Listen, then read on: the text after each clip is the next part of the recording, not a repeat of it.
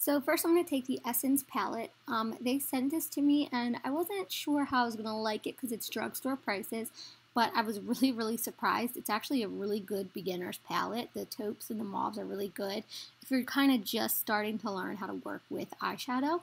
Then I'm going to take the grayish, blackish color. It's not that deep of a black, but I'm just really using this for my base, so it doesn't really matter. This is going to help me map out where I want those dark shimmery tones because once I put on the shimmers, it's going to be harder to blend and it's going to be easier to mess it up. So this is basically my roadmap.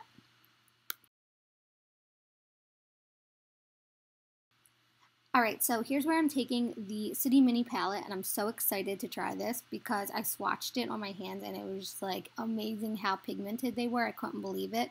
So I'm starting to put that black, the glittery black, over top of our base just to kind of work it in. We're going to clean it up. It doesn't have to be like super perfect. It's going to look really uncomfortable for a little bit. It's going to look really just messy, kind of like you got punched in the eyes. And when you're working with grays and blues, it's really easy to get that look, but seriously, it's not a big deal. So here's where we're going to get the teal, and we're just going to pop that into the middle. And I like to go a little bit above my crease just to make my eyes look a little bit more bigger and more awake.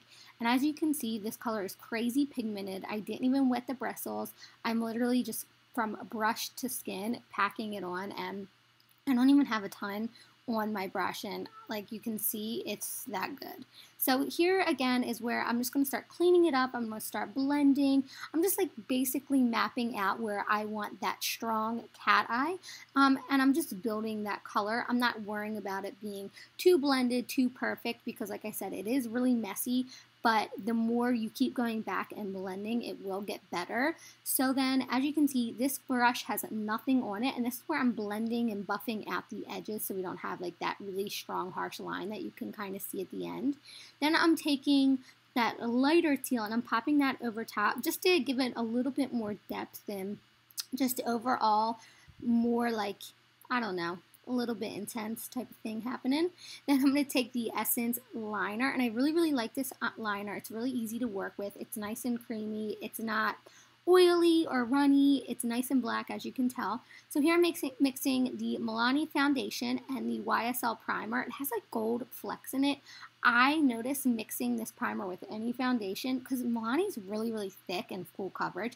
I like that it almost makes it a little less and easier to work with and kind of spreads the foundation easier because sometimes it gets hard to pack on your skin and it does leave me with a nice little glow. So that's kind of been my trick lately, just giving me that nice natural glow and finish and it doesn't make my face look all cakey. So I've been loving it. I think you guys should try it because you'll probably love it too.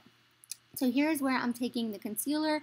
I wasn't a huge fan of the Essence concealer. Um, it is a little bit watery, but I like the color of it. It is really, really brightening. Um, I probably used a little bit too much around my chin area, but that's okay because I'm going to go back in with bronzer, so it doesn't matter. So here's where I'm blending it out with a damp beauty blender so I can pick up the excess of it and it's just not super cakey. So I've just been trying to not look cake face lately. I mean, there's days where I love cake face, but since it's been so hot, I kind of just want everything really damp on my skin. So I love, love, love this Pure Cosmetics um, contour stick.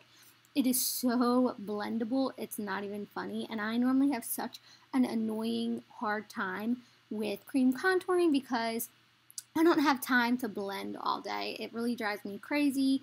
Um, so I really like this one. It's really easy to blend. It doesn't take a whole lot of time. Here I'm using the Damp Beauty Blender again, just because like I said, I like to keep my skin a little bit moist, which I know people hate that word, but that's like the best word I could come up with right now. Um, and then I'm taking the Fit Me Loose Transis Translucent Powder by Maybelline. I love this powder. I've talked to some people about it when I got to try it before it released, and it's just so good. It's nice and sheer and lightweight, but it has really great coverage. So then I'm taking the Pure Cosmetics Bronzer, which has a little bit of sparkle to it because I want to stay matte, but I want to stay glowy at the same time. I don't like to be too glowy because then I look oily, but I do like to have a little shimmer. So then I'm taking the Sigma Aurora, which is like this nice baby pink, and I'm popping that onto my cheeks just because I, I love a little bit of color on my cheeks, just because it looks more rosy or like you've been in the sun, whatever, blah. So then I'm putting on some eyeliner and I'm taking the same colors we used at the top and I'm going to place them right underneath on the bottom to really give it that big, strong, sexy cat eye, whatever you want to call it, porn star type of feels, you know. And then I'm going to take that teal, pop it underneath. Then I'm taking the Sulacity. I don't even think I said that right, really, but I'll put it in the comments below. Details, whatever, description. And then I popped on some Ardell double up lashes. They're the bomb when you want this like strong smoky eye thing happening.